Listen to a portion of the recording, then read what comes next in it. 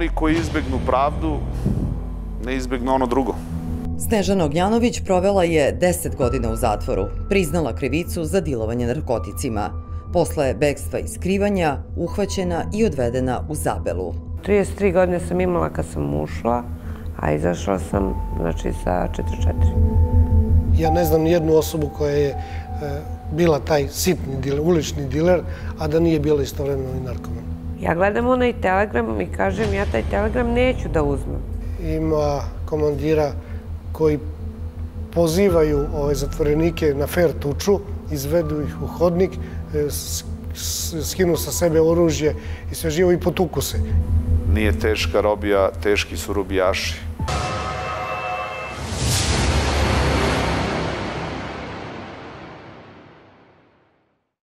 Ja se zovem Snežana Ognjanović i iz grada Kragovica sam.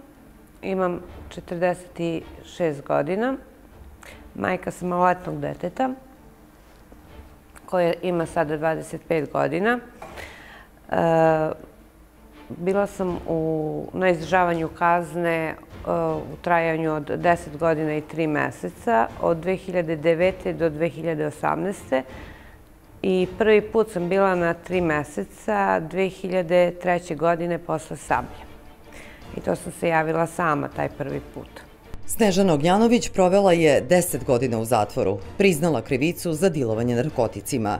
Posle bekstva i skrivanja, uhvaćena i odvedena u Zabelu. 33 godine sam imala kad sam ušla, a izašla sam znači, sa 44. Pa znate, lica koja su osuđena i njima se upućuje poziv za izdržavanje kazne zatvora. Lica koja se jave, oni šalju drugu poruku društvenoj zajednici. Da su svesni da su izvršili krivično delo, da se kaju i da su spremni da izdrže kaznu zbog toga. Ona lica koja to ne preduzmu te radnje, kao da se ne jave, ne primaju poziv i tako dalje, onda šalju oni drugu poruku društvenoj zajednici, a to je da ih jednostavno ta kazna ne zanima i da se nisu, da nisu shvatili težinu radnje kažnjive zbog koje su osuđeni i za njima se raspisuje potraga, lica se traže radi izdržavanja kazne zatvora, odnosno i poternica. Uhapšena sam 2009. godine. E, nisam se odazvala sama pozivu. Bila sam takozvanom bekstu. Jer, a pre toga sam smatrala da nema šanse da me osude na te kazne. Pa oni, su, oni koji su pokušali e, bekstvo, svakako su pod većim nadzorom. Pod većim nadzorom e, da ne bi ponovo počinili tako nešto. I veća se pažnja poklanja njima. I radi se sa njima da se vidi zbog čega, kako e, ta tolerancija na zatvor, na frustraciju koju predstavlja sam zatvor, ne mogu da podnesu i ne mogu do kraja da se nose sa tom situacijom. Tu su određene službe socijalnih, e, odnosno ovih specijalnih pedagoga, psihologa po zatvorima koji bi trebali i verovatno i rade sa tim osobama da im učine lakšim jednu situaciju koja sama po sebi nije laka, ali koju treba prihvatiti. Najbitnije je prihvatanje.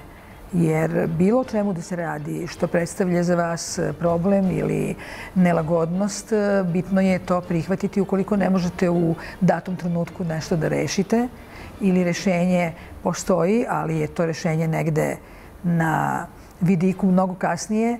Najbitnija stvar u celoj toj situaciji je prihvatanje situacije u kojoj ste se našli i traženje dalje rešenja. A rešenje za zatvorsku populaciju je e, gde, gde bi mogli da dobiju da im se ublaži mera sa, dobro ponašanje. Znači, a pre tog dobrog ponašanja treba raditi sa njima. Onaj koji pokuša bekstvo ili već nešto drugo da učini, što nije dobro u zatvoru, to umanjuje njegovu, da kažemo, mogućnost da mu se smanji zatvorska kazna i da ima neki drugačiji tretman. Čak i od zatvorenika može imati loš tretman. Problematično društvo bilo je dovoljno da Snežana skrene s puta i bude na meti policije.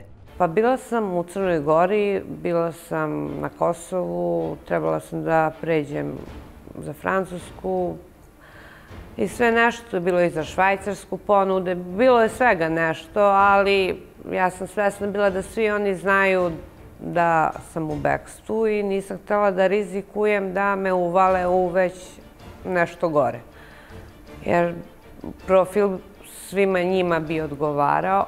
Međutim, da sam znala šta će da bude i kako, sama bi se javila na izdržavanje, jer i te tri godine non stop je bilo osvrtanje nisi ti ti, pazi šta radiš, ne smeš ni da se ponašaš kako treba, ne možeš da odeš kući i normalno da vidiš ni porodicu, ni ništa.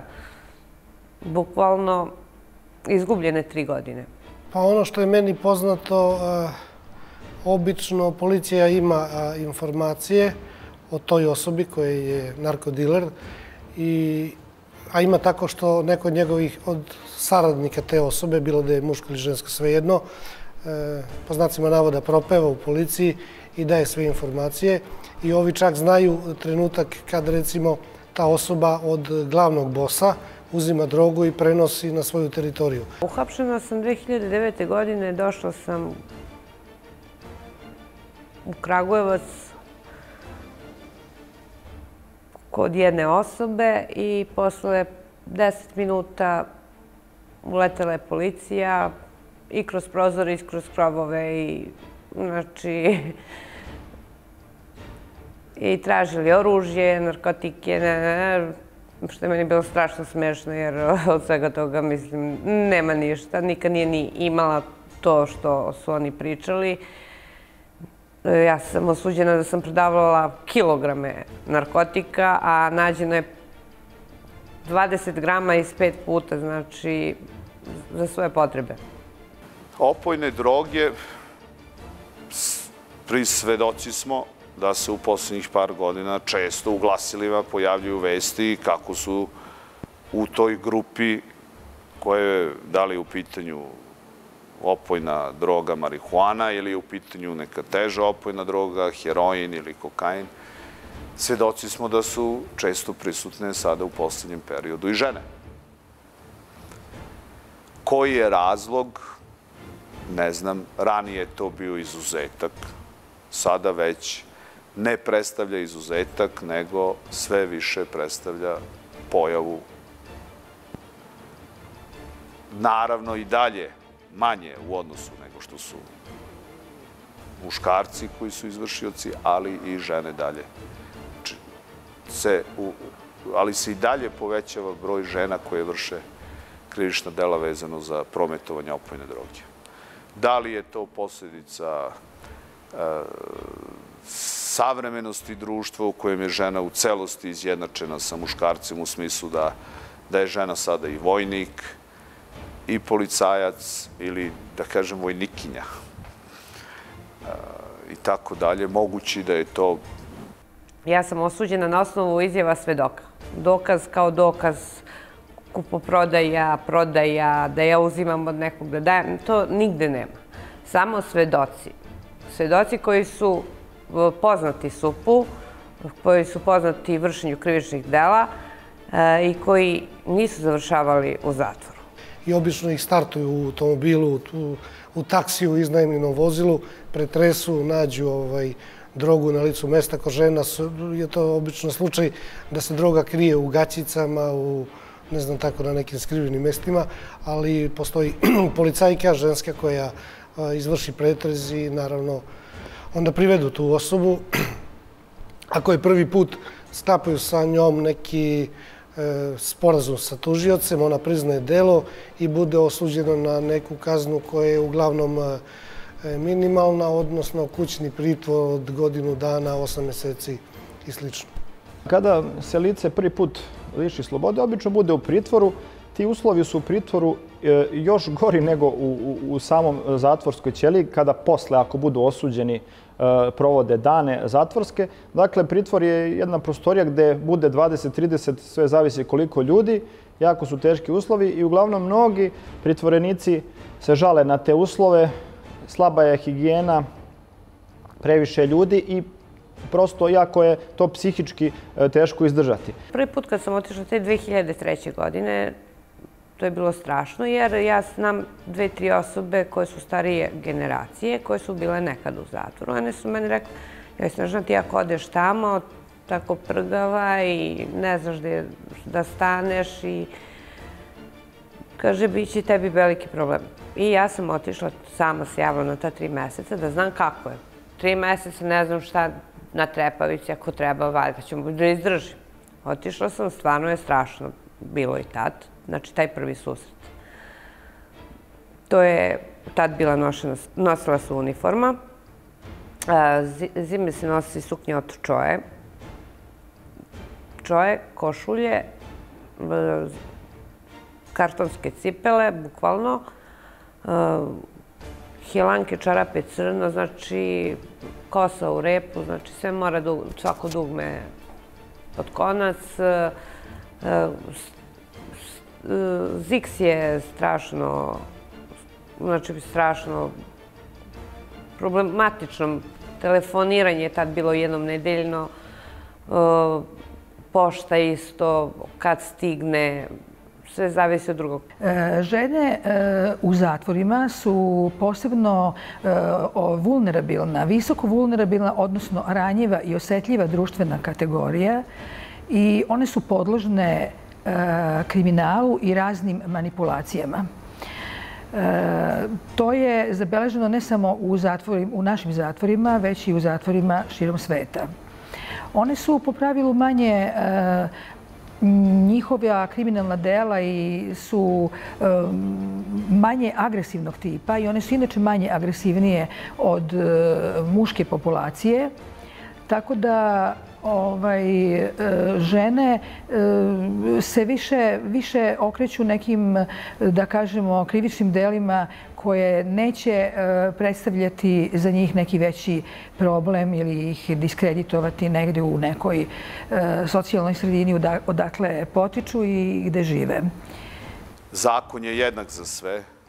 Zakon ne prepoznaje razliku u polu, zakon, krivični zakonik prepoznaje samo način na koji se vrši, težinu, posledice i zakon prepoznaje, odnosno štiti maloletna lica da za bilo koje krivično delo, većinu, odnosno krivičnih dela, gde za posledicu može biti nešto prema maloletnom licu ili šteta prema maloletnom licu, onda je zaprećena strožija kazna zatvora. Kazna zatvora je najrepresivnija mera protiv učinioca krivičnih dela koja su propisana krivičnim zakonikom Republike Srbije. Svrha kazne zatvora je generalna i specijalna prevencija. Generalna prevencija utiče na ostale građane da ne vrše krivična dela i da se tako poboljša e, stanje u društvu što se tiče kriminala i krivičnih dela, dok je specijalna prevencija, e, svrha zatvora kao specijalne prevencije, da konkretno na tog učinioca se utiče da on više dalje e, ne čini krivična dela, iako, nažalost, u zatvorima su uglavnom povratnici.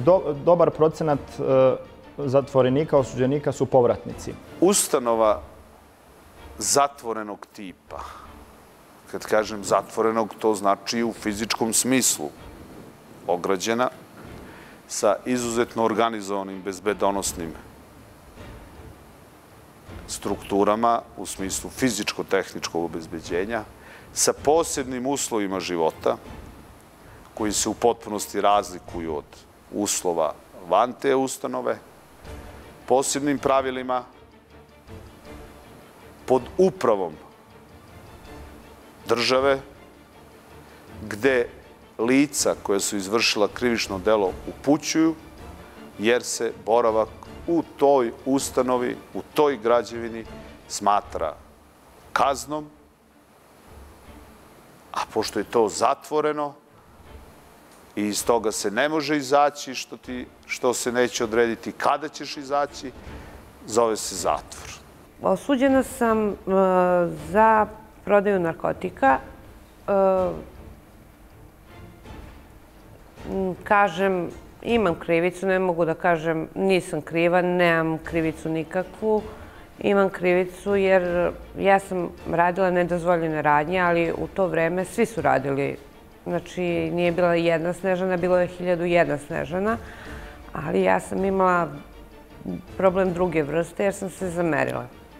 Mene je jezik mnogo više košta nego moje delo. Osuđena sam za možda 20 grama heroina koje su nađeni kod mene iz pet puta. Znači, pet puta sam hapšena i nađene oko 20 grama heroina. Pojedinačno kazna 15 godina. Jedinstvena kazna 10 godina i 3 meseca. Koju sam odležala pred dve i po godine sad će biti kako sam izašla sa izdržavanja kazne. Osobe koje zloupotrebljavaju drogu, bilo da su muškarci ili žene, e, često mogu biti i zloupotrebljene e, od strane nekih e, drugih osoba i da počine krivično delo stavljanja u promet tih opojnih sredstava radi dobijanja veće neke ostvarivanja materijalne dobiti.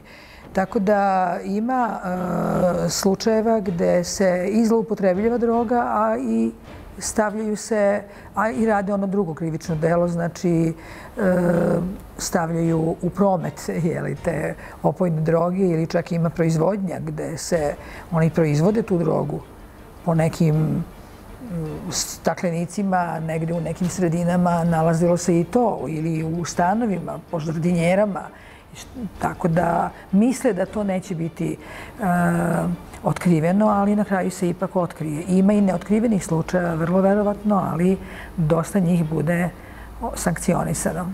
Ja ne znam jednu osobu koja je uh, bila taj sitni ulični diler, a da nije bila istovremeno i narkoman.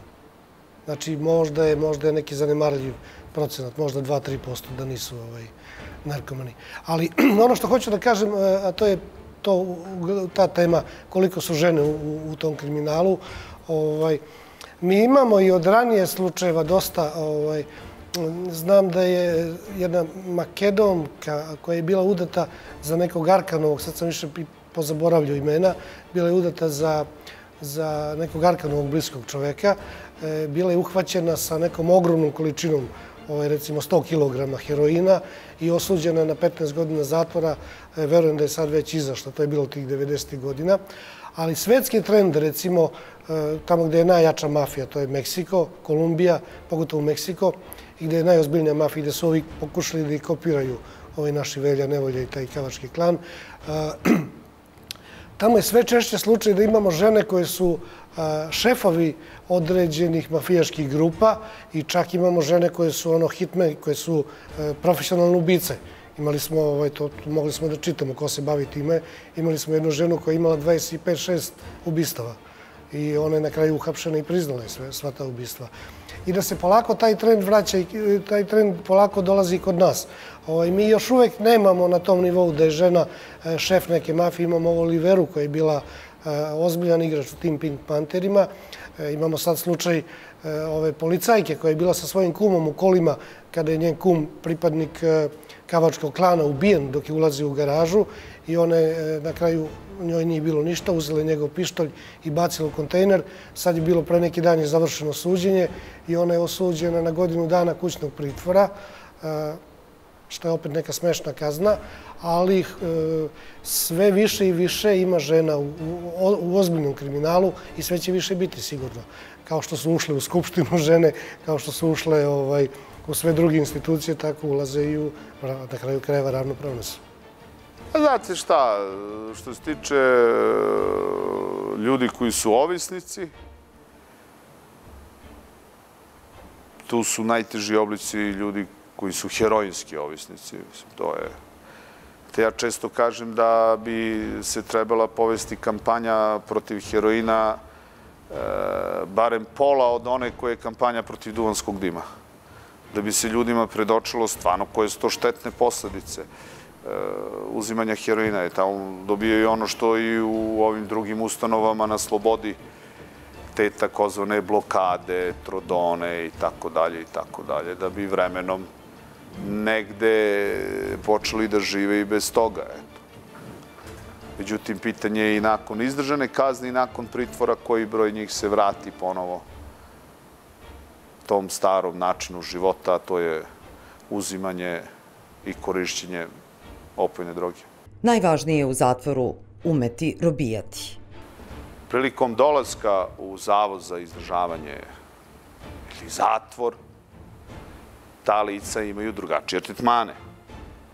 Onaj koji se odazvao, on vrlo brzo prolazi tu, to odeljenje privikavanja, u kraćem periodu, sad to sve zavisi od dužine kazne koju treba da izdrži, dobije određene privilegije. Privilegije su u smislu vikenda, 8 sati odlaska i tako dalje, rada, poluotvorene ustanove i tako dalje. U odnosu na ova lica koja su sklona bekstvu i koja se nisu odazvala na poziv. Znači, prema njima se preduzima stroži nadzor koji podrazumeva da će teško ostvariti i vikend, i 8 sati osustva i tako dalje, sve te privilegije, doći u poluotvoreni paviljon i tako dalje. Znate, to je upravo iz razloga što su oni svojim postupcima ukazali da im društvo ne može pokloniti poverenje. Jer ako se nisi odazivo, ako si bio u bekstvu, znači da ćeš, ako ti prilikom izdržavanja kazne društvo pruži šansu da e, boraviš u poluotvorenom paviljonu, ti ćeš to iskoristiti za bekstvo. Što? Pa takva je pretpostavka, jer je to svojim radnjama do sada to lice ukazivalo da će se desiti. Prevaspitna služba, uvek ih je zanimalo samo abrove, a kada odeš sa problemom, ili nemaju vremena ili šta, ali abrovi ih zanimaju. Ko je kome dao cigare, ko je kome nešto dao i tako. Te 2003. godine, na primjer, bilo je zabranjeno da daš nekom cigaru. Ti, ako imaš, ne smeš da daš drugom jer ćeš biti kažnjen e, samicom ili oduzimanjem paketa ili tako nečim. A kad sam drugi put otišla na izdržavanje 2009. godine, bila je isto uniforma, ali se to popustilo što se tiče pozemljivanja. Bilo je dozvoljeno u paviljonu, ali ne nešto da se to zna, nego čisto ovako u užem krugu i nije bilo kažnjavano. E, cilj konačni e, kazne zatvora nije u odmazdi i, u represiji i da kažem u nekom ponižavanju ličnosti, nego upravo u resocijalizaciji e, učinioca krivičnog dela. To znači da se radi na tome da društvo obezbedi učiniocu krivičnog dela da ponovo usvoji pozitivne e, vrednosti i obrazce života kako bi se vratio na slobodu kao punopravni član društva. U potpunosti resocijalizacija nije uspela, nema potpuno e, potpune resocijalizacije u smislu da sada svako ko izađe, on je izašao i gotovo više povratnika nema. Na kraju to nam dokazuju povratnici, bilo muškarci, bilo žene, više muškarci nego žene, zato što Sve zavisi, kažem vam, od strukture ličnosti, od toga odakle su potekli, iz kojih porodica, o kakvim osobama je reč i koliko je društvo spremno da pomogne tim osobama kada se nađu van zatvorske ćelije, gde, šta i kuda da krenu. Oni su jako, jako u teškoj situaciji kada izađu iz zatvora. I tad mogu biti, ukoliko ne dođe do adekvatne adekvatnog prihvatanja od strane društva, porodice ili nekih eh, prijatelja koji bi pomogli toj osobi da sada pronađe sebe van zatvora, tad može ovaj, nastati problem veliki i da se učini, da se načini eh, ponovo krivično delo. Ali ako se osoba poveže sa dobronamernim ljudima koji žele da pomognu, koji žele da ga zaposle, procenat i potencijalna mogućnost da se napravi novo krivično delo je smanjen. Resocijalizacija ne, ne samo kod nas da, postoji, da ne postoji. Ja sam imao razgovor sa upravnikom jednog jednog od najtežih zatvora u Švedskoj. Zatvor se zove Nortelj. I čovjek mi je rekao pa to, to je bilo tada 95. godine, rekao mi je da je Švedska zemlja koja je najviše uradila na tom polju da resocijalizuje zatvorenike.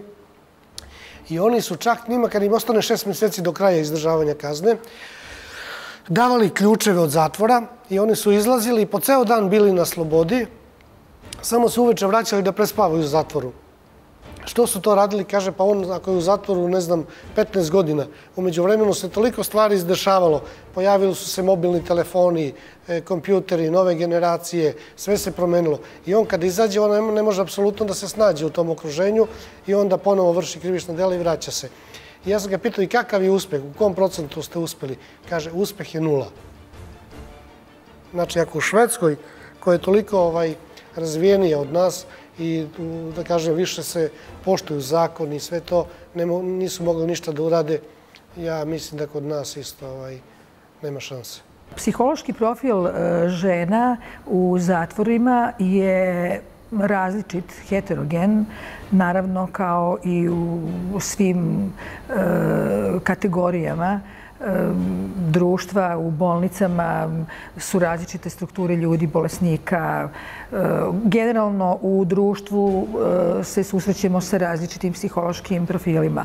Tako i zatvorenice e, se obično kategorišu po prilikom psihološke, psihijatrijske eksploracije u određene kategorije.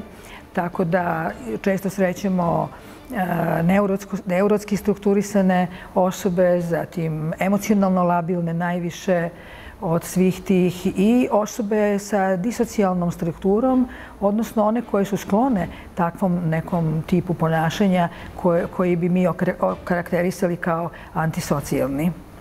Ja ja sam pravila gluposti, najviše sam nudila sebi jer sam i sama to koristila. nikog nisam terala na silu nešto, niti je bio neki mlađa osoba. Znači sve su to oko mene bile osobe koje su mnogo starije od mene i mnogo duže u svemu tome. Neformalne grupe, može se reći, gospodare iza brave. Imaju svoje sledbenike, podeljene paviljone, kako u muškom delu, tako i u ženskom. Izvršioci krivičnih dela koji su ženskog pola imaju poseban i zatvor i poseban tretman i komandirice i tako dalje, vodi se ta briga o tome da ne dođe do spajanja između muškog i ženskog upravo radi zaštite i svega živog izvršioca. Postoji posebna zgrada u kojoj se izdržava kazna zatvora od strane žena. Ono što je možda meni najinteresantnije bilo iz te moje novinarske karijere je e, da je u centralnom zatvoru u Beogradu e, između maloletničkog e, dela gde su dolazili, dolazile mlade osobe recimo od 13 do, do 18 godina i ženskog dela zatvora da je te dve prostorije delio samo jedan zid i da su svojevremeno ovi iz muškog dela iskopali jednu rupu u zidu i ovaj, maskirali je krevetom da to zatvorsko osoblje dugo, dugo, dugo nije ovaj, moglo da otkrije i ovaj, e, kroz tu rupu je mogla da se provuče ruka i onda su ovaj, imali neke intimne, da kažem, ovaj, e, odnose ti maloletnici sa ženama koje su bile u tom ženskom pritvorskom delu centralnog zatvora u Beogradu. I to je zaista živa istina. To postoje mnogobrani svedoci, čak i su, meni su lično potvrdili neki ljudi koji su bili čuvari tada, sad su u penziji naravno, to se isto dešavalo možda 94.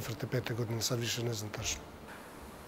U kojoj meri je teže u zatvoru ženama nego muškarcima, to bi najbolje ocenu mogli da daju osobe ženskog pola koji su bile na izdržavanju. Tako je vezano i za pritvor. U pritvoru isto posebno su odvojene žene posebno su odvojeni muškarci. Da li se u poslednjem periodu za određena krivična dela, svesni smo da je prisutna inflacija krivičnog dela prometovanja opojnim drogama, da li se za to regrutuju, tako da kažem, osobe ženskog pola, devojke i tako dalje. Ja ovako iz nekih opštih saznanja koja ne mogu biti potvrđena, to je prisutno. Upravo radi toga što će policija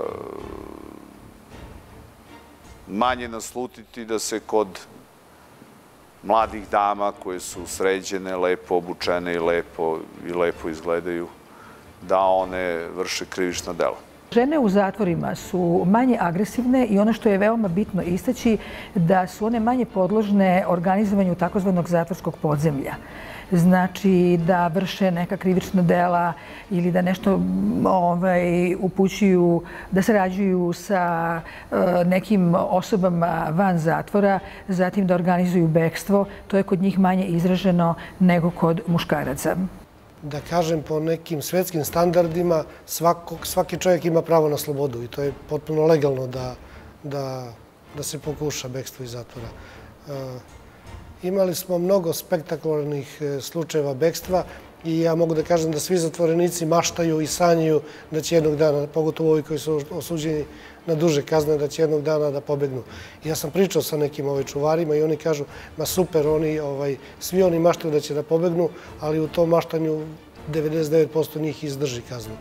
A i mnogi koji pobegnu ovaj, vrlo brzo budu uhapšeni i vraćeni i tu su neke kazne, ovaj, njima ne mogu da produže, ovaj, kako se zove, zatvor, ali mogu da ih kazne na neku izolaciju, e, na samicu i tako. Za zatvorenike je jako važan e, taj moment organizacije njihovog života u zatvoru, jer isto jako opasno što često dolazi do povezivanja kriminalaca međusobno i do, da kažem, pravljenja klanova, organizovanja određenih krivičnih dela van zatvora, odnosno u svetu, preko drugih lica i tako dalje. To je jako opasno. E, takođe, isto bih naglasio da nezvanično postoji hjerarhija u zatvorima među osuđenicima. E, obično su to vođe određene, onda imaju izvršioci i imaju, da kažem, ti marginalna lica, obično su to, odnosno od strane osuđenika, oni su marginalni, obično su to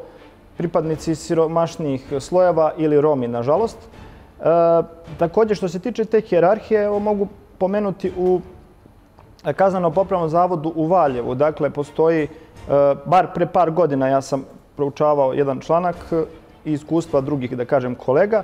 Postojale su, da kažem, dva klana. Jedan klan je se zvao Beogradski kolektiv, a drugi se zvao Seljački kolektiv. Dakle, to su njihovi, e, da kažem, izrazi iz slenga.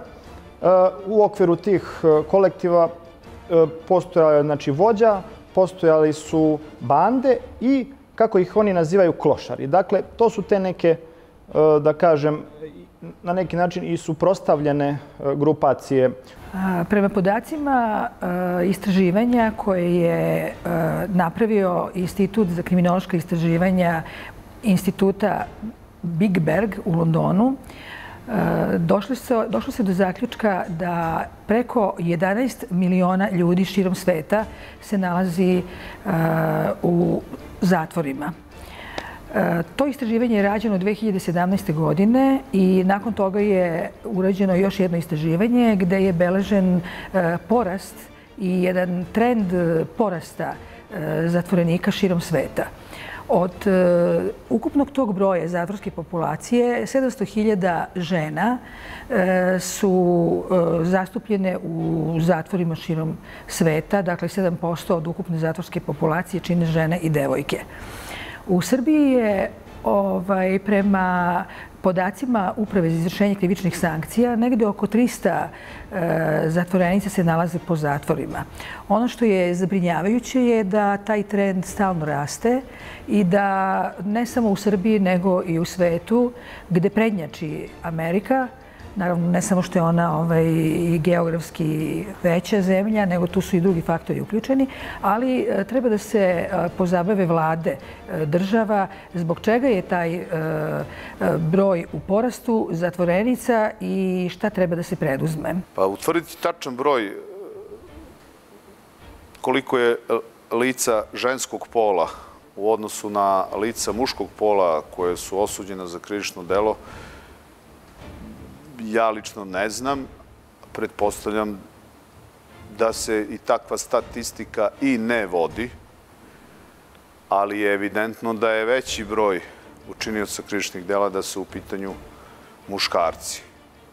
Međutim, primetno je u poslednjem periodu da se javljaju i žene kao izvršioci. Kad je recimo 90. godina bio taj kriminal na nekom vrhuncu kod nas, devojke su obično tim e, ozbiljnim kriminalcima služile da u njihovim tašnama drže pištolje. I ako se nešto desi, da, da lakše dođu do oružja. A kad ulaze u neke objekte kao što su restorani, diskoteke, obično ovaj, ti ljudi na ulazu ne pretresaju devojke, nego pretresaju ovaj, te žestoke momke takozvane. Žene su izuzetno manje sklone krivičnim delima u kojima su prisutni elementi nasilja. Redkost je da je žena izvršila ubistvo iz razloga iz kojih može i muškarac da izvrši ubistvo, odnosno izvrši ubistvo. E, kod žena što se tiče teških krivičnih dela u smislu ubistva ili teškog ubistva ili tako dalje. Najprisutnije je ubistvo deteta pri porođaju. Onda ubistva koja se dešavaju u samoj porodici, koje proističu iz tog nasilja u porodici, gde može doći do odbrane od nasilja u porodici kada žena dugi period koji može biti više godina trpi nasilje. Može biti ljubomora, ona bolesna, patološka, posesivna ljubomora, a koja znao isto da bude i prisutna i kod muškaraca, nisu, nije samo ovaj, kod žena. Ubistva e, koje vrše žene su opet procentualno manje nego ubistva koje vrše muškarci. Ta naručena ubistva o kojima se priča, gde postaje prosto to nekome zanimanje, da ovaj, E, ubije nekoga za pare.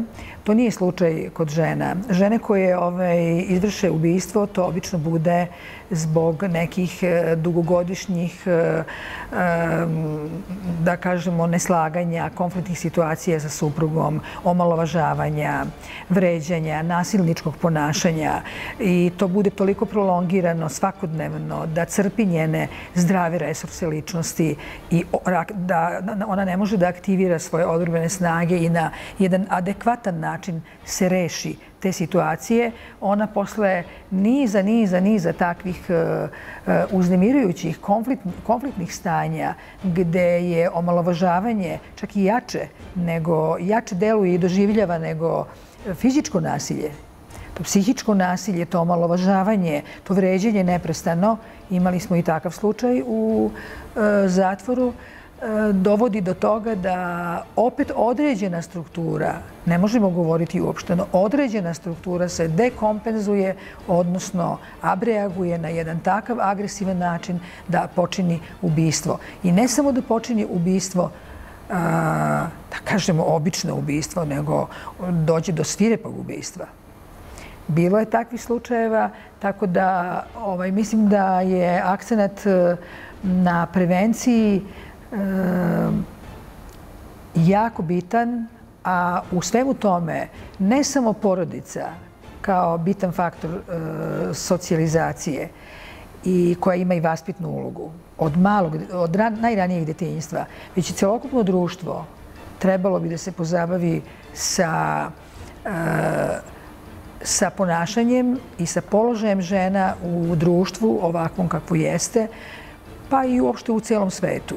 E, jer sve potiče negde iz društva. One se ovaj, e, žene e, kada krenu u devojke male, devojčice kad krenu u školu, to je već jedan veliki izazov. Jer škola bi trebala da ima ovaj, ne samo obrazovnu funkciju, ona treba da ima i vaspitnu. A škola sve manje i manje ima tu vaspitnu funkciju. Onda na scenu stupaju razne vršnjačke grupe, gde mi srećemo što ranije nikada nije bilo toliko prisutno, možda su bili pojedinačni slučajevi, ali srećemo devojčice koje budu agresivnije od muškaraca. Od takvih devojčica, devojaka, koje ispoljavaju otvornu agresivnost, mržnju, možete očekivati sutra da urade i neko krivično delo i da budu da imaju status zatvorenika u zatvoru. Pošto sam imala neku vezu pre toga, osoba koja je problematična, tu je počeo i moj problem sa policijom i svime time, e, nepravda i sve ostalo. I onda sam ja terala oni u klini, ja u ploču, ali njima se moglo i tako. Ja mislim, e, ima takvih slučajeva, ali mislim da to nije praksa da sada koriste ovaj narkodileri svoje devojke ili supruge da prodaju drogu, već imaju svoje da kažem, radnike koji to rade, i vrlo, ali vrlo često su devojke među njima. Ja sad e, znam za jedan slučaj koji se skoro desio i da je jedna devojka koja je prodavala, ne znam, te neke lake droge, ekstazi, speed i to, ovaj, priznala je delo i osuđena je na tri godine e, zatvora.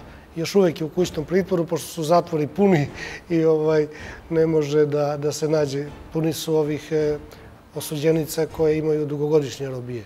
A tri godine ipak, ovaj, da kažem, manje zatvorske kazne. Kod nje je još neki drugi slučaj, pošto ima dvoje male dece, nema ko da izdržava decu, razvedena je, a i muž joj je u zatvoru, izdržava zatvorsku kaznu, a po tom nekom zakonu o izvršenju zatvorskih sankcija, e, kad imaju dece, muž i žena, ne mogu istovremeno oboje da budu u zatvoru.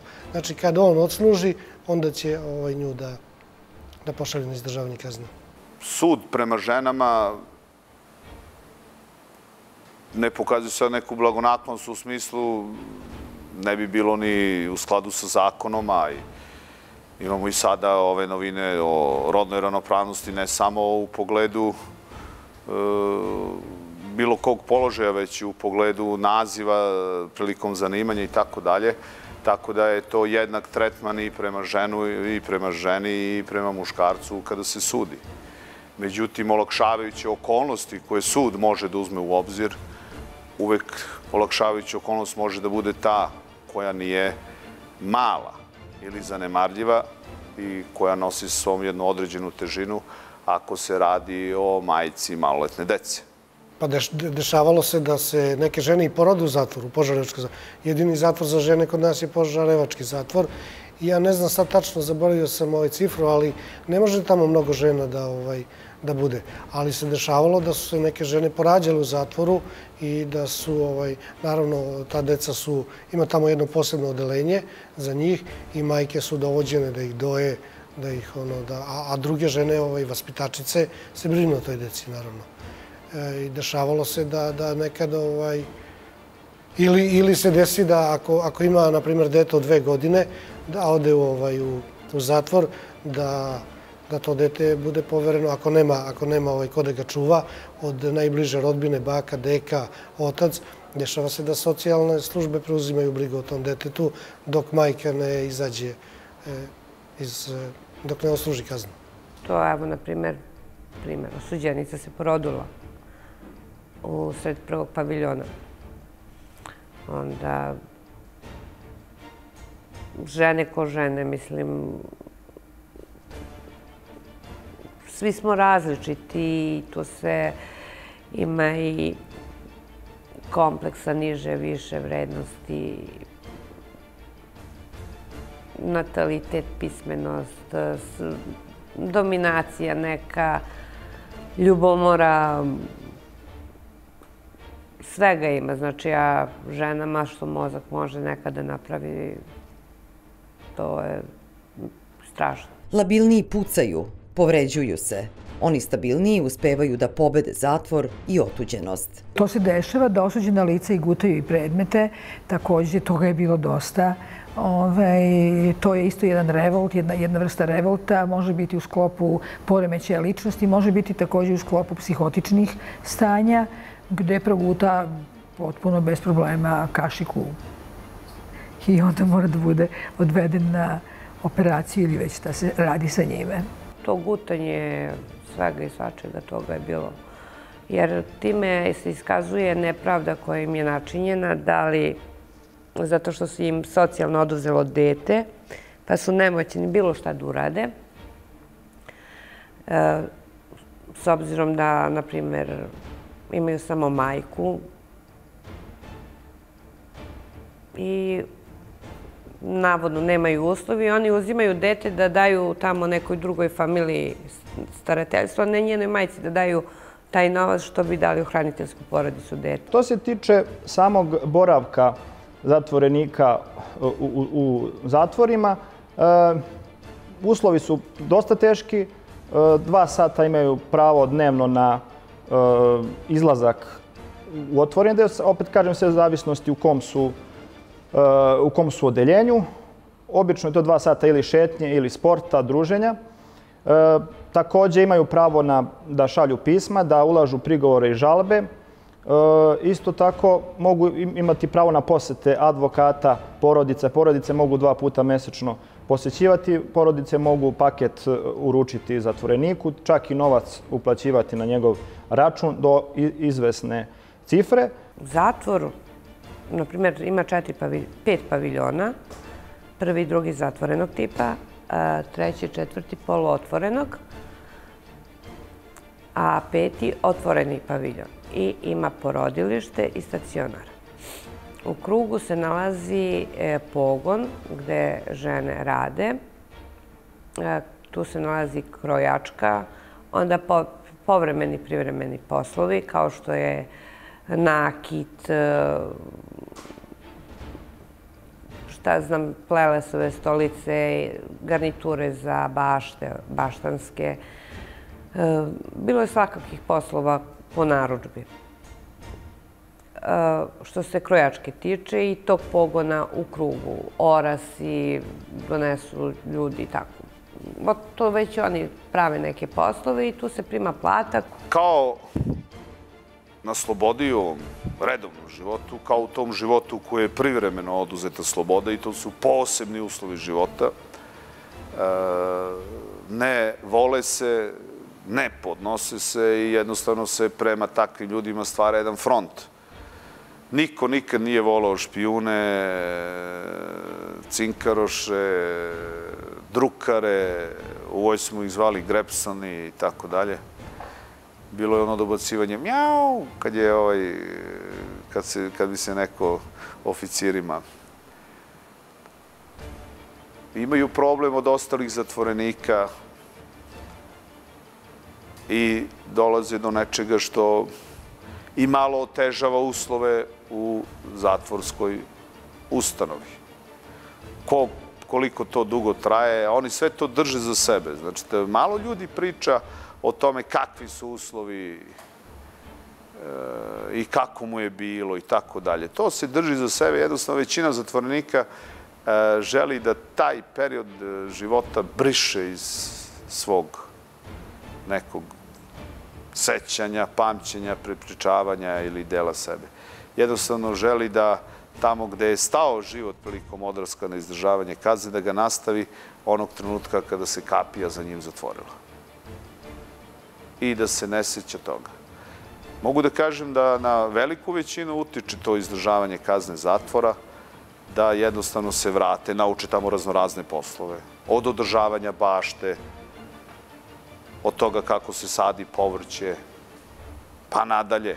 Mnogo korisnih stvari nauče i shvate da može da se živi jednim normalnim životom.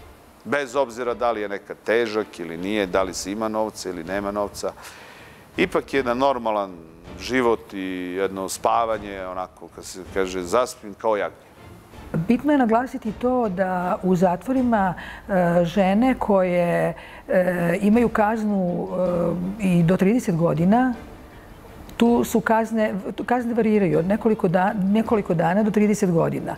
Najmlađa zatvorenica ima 21 godinu, dok i najstarija je imala u Požarevcu 78 godina. Ali ono što je bitno za žene koje služe duge zatvorske kazne, da, da one menjaju svoje stavove, te one koje su bile heteroseksualno orijentisane, one postaju i homoseksualno orijentisane kao, to vide kao neko privremeno rešenje i one dobrovoljno pristaju na tako neke odnose za razliku od muškaraca koje muškaraca koji u stvari doživljavaju neku vrstu pritiska i fizičkog pritiska. E sad, ta popula, populacija, gej populacija, da je ima tamo ima, ima i na slobodi, a kamo li tamo.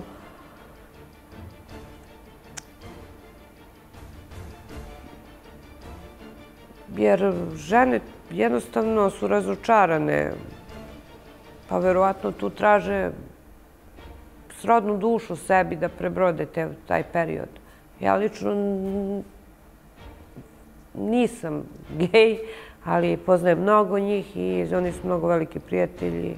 U zatvoru njima nekad jako lepo, malo, malo je to kontradiktorno s onim što sam rekao na početku, međutim, e, kako su mi rekli e, čuvari u jednom zatvoru, oni tamo imaju svoje ime, svoj identitet, svoj e, subkulturni život. Dakle, oni su pojedini, opet kažem, ne svi, ima razni su slojevi, da kažem, ljudi u zatvoru, ali pojedini zaista su tu određeni heroji, šefovi i tako dalje i njima je život na slobodi, oni uopšte i nisu deo e, društva, da kažem da su na nekoj poziciji ili ugledu ili časti, zato oni u zatvoru i tekako dobro provode vreme, jer tu, tu se i organizuju, druže se. Pa bilo je obračuno, ali nikad nije nešto završeno, neko da je povređen, ne znam, nešto. Više su se same, samo povređivanje mnogo više, zastupljenije, gutanje katanca, žileta, kad to urade, onda se kažnjava, nema kad, zabrane, jednostavno nema žileta, ne možeš higijenu da zbog jedne osobe kažnjavaju se svi. Tako da oni traže da bukvalno neko ide i da stražari nad nekim. Bilo je slučaj sa vešanja, više puta pokušavano. Ja znam lično, e, dok sam bila tamo, jedna devojka je umrla. Iznad iz paviljona. Ovako je zemlja. U zatvorima imamo često uh, pojavu autodestruktivnog ponašanja u vidu samopovređivanja, a i uh, pokušaja, uh, suicidalnih pokušaja. Oni to čine da bi privukli pažnju na sebe, a često to rade iz očaja, zato što ne mogu da podnesu tu zatvorsku frustrirajuću situaciju, a samopovređivanje je veoma često kod psihopatski strukturisanih osoba. One to vrlo često čine zbog velikog emotivnog naboja u njima samima, zbog nemogućnosti da, e, da se izbore sa i da, model, da moduliraju taj svoj e, afekat koji je povišen, da naprave neku bolju modulaciju svog afekta, tog emotivnog naboja, dolazi to do tog samopovređivanja i to veoma često. Teško je navići se na boravak u četiri zida s ljudima koje ne poznajete, kojih se plašite. A što se tiče zatvora, kao što rekao, postoje određena e, pravila kako treba da izgleda jedna zatvorska ćelija, odnosno koji uslovi treba da budu e, pod kojima zatvorenici provode zatvorske dane. Dakle, 4 e, metara kvadratna je minimalna E, površina koju treba jedan zatvorenik e, da kažem da koristi. Često se to nekad bude i više njih, pa bude i po 2, 2,5 kvadratne metra, što je jako loše. Takođe, problem je sa toaletima. Često su oni u samim ćelijama da ih dele dvojica, trojica. Isto tako nema uslova, pa imaju neke paravane, nemaju vrata. Tako da higijenski uslovi su isto nekad jako nezgodni. Tako da, usled tolike da kažem, težine provođenja tih dana, same osude društva, e, izolovanosti od društva, kao što rekao, samo dva sata imaju pravo na, na, e, na dnevno svetlo, odnosno aktivnosti, e, sporta i šetnje. Njima je jako nezgodno to psihički padaju ti dani. Kao naravno svakom recimo u logorima znamo kako isto bilo teško ljudima, ovo nije logor, ali je neka vrsta vrlo, vrlo prinudne mere prema čoveku, njegovom dostojanstvu i slobodi. Dakle, ograničenje slobode, ali pod ustavnim e, propisima. E, dakle, šta se tu onda dešava? Pošto e, često su ta lica ili psihički bolesna ili su pod dejstvom opijata, alkohola, odnosno, bolest, odnosno oboleli od bolesti zavisnosti. Isto tako iz traumatičnih porodica. Vrlo čest je taj slučaj kad su izvršioci krivičnih dela u pitanju. Tako da, nažalost, imamo nemile scene po zatvorima ili tuče međusobnih e, zatvorenika ili samo povređivanje e, ili čak dolazi i do suicida. Dakle, vrlo su e, teški uslovi psihički i mnogi, nažalost, i posle zatvora izađu još gori, da kažem, još gorem stanju. Tako da opet apelujem da se insistira na resocijalizaciji, na usvajanjima pozitivnih obrazaca života i, i, sistema vrednosti. Davno nije bila neka pobuna, koliko se ja sećam. Nešto je bilo pred možda 30 godina. Ovaj, eh, Pa ne znam, stvarno, nešto, ovaj, kad, kad neki ljudi štrajkuju glađu, misle da su im nešto narušeni, eh, neki njihovi neko njihova prava i onda dođe do toga da ih ostali zatvorenici podrže i tako ili se nešto fingira da bi neko pokušao bekstvo i tako, ali stvarno odavno nije bilo ni jedno našem zatvoru tako nešto. Pa ne, bila sam u bekstvu, znam šta je, mislim čemu. Kad sam već tu, to je to, nema šta, to ne zastareva. Čemu bekstvu? Čita život osvrtenje, mislim. Ovo se bar i završi. Moje iskustvo da zatvorenici podosta dobro poznaju zakon i svoja prava. Čak i jako dobro pišu žalbe i prigovore. Tako da, naročito višestruki povratnici. Jer e, upravo su, e, da kažem, to vreme koje su provodili u zatvoru, neki, e, neki su posvetili tome da izučavaju malo i, i, i krivičnu materiju, što je jako dobro, jer upravo onda znaju dokle smeju da čine određene aktivnosti, dokle ne. Odnosno, da, da prosto se zaštite od eventualne sledeće kazne ili sledećeg pritvaranja, odnosno zatvaranja. U prvom paviljonu ima 12 soba, od kojih je 8 soba po, 4 kreveta, e, po 8 kreveta, 4 na sprat. Znači, krevet na sprat, 4 kasete, krevet na sprat. Pa onda nekih metara i po dva prostor, pa opet krevet na sprat, četiri kasete, krevet na sprat i vrata. Znači, vrata ne mogu cela da se otvore. Privatnost nemaš. Ako hoćeš bilo kakav mir, ne možeš da ga imaš nigde. E, ima i jedno kupatilo sa dve tuš kabine i dva toaleta i ovamo ima u, redu četiri umivaonika i slavine. To je za 70 i kusur žena. Jedan bojler posebno leti kad žene rade prljave poslove i kad dođu sa posla treba da se isuširaju i one, i ove u paviljonu, a kamoli ove što rade. Tako da su uslovi što se higijene tiče i toga katastrofalni veš nikad se ne otkuvava, niti ima mogućnosti za to. Ko što se tiče uslova u zatvoru, Evropskim konvencijama, kao i samim ustavno, Ustavom Republike Srbije, propisano da se prema zatvoreniku treba ponašati e, kao prema licu e, koji ima svoje dostojanstvo. Dakle, ne sme se povrediti njegov psihički i fizički e, integritet, to jest ne može doći do mučenja, maltretiranja, torture, iznuđivanja iskaza od strane, naravno, čuvara policijske uprave i drugih čuvara bezbednosti u zatvoru. Tako da je zatvorenik i zaštićen i ustavnom kategorijom. E, opet kažem, ta Evropska konvencija e, je zaštitila znači, zatvorenika od, od tih mera preterane represije. Naravno, mi, svakako da oni jesu malo, da kažem, nezgodniji deo stanovništva, često sa psihičkim problemima, često ima tu i narkomana, alkoholičara, psihopatologa, na neki način psihopata, tačnije, Pogotovo ovi što vrše ova teška krivična dela prema deci, prema trudnicama, prema ženama. To je dosta, tu ima e, psihopata. Tako da prema njima nekad e, čuvari moraju i da postupaju malo da kažem grublje, što imaju pravo po osnovu zakona o izvršenju krivičnih sankcija, ali opet kažem da upotrebe nekad i silu, e, sve u zavisnosti da li je došlo do neke tuče, do nekog ekscesa, e, imaju pravo na to. Opet kažem, mora postojati ta neka granica gde su prava zatvorenika, odnosno da se ne prelazi granica torture i mučenja i poštovanja dostojanstva. Nisam imala problema sa suđenicama, možda par čarkica, ali to je sasvim normalno sa sestrom rođenom, pa se posvađaš, a kamoli sa nekim ko ti nije ništa. Ja nisam imala tih problema. Takođe je važno da se zatvorenici dobro vladaju iz razloga što tada imaju mogućnost na uslovni otpust.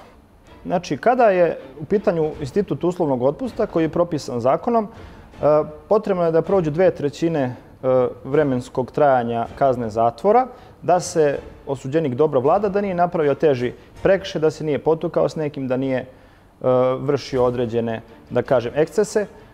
Takođe, potrebno je i da do kraja trajanja kazne zatvora, dok je na slobodi, on ne učini novo krivično delo.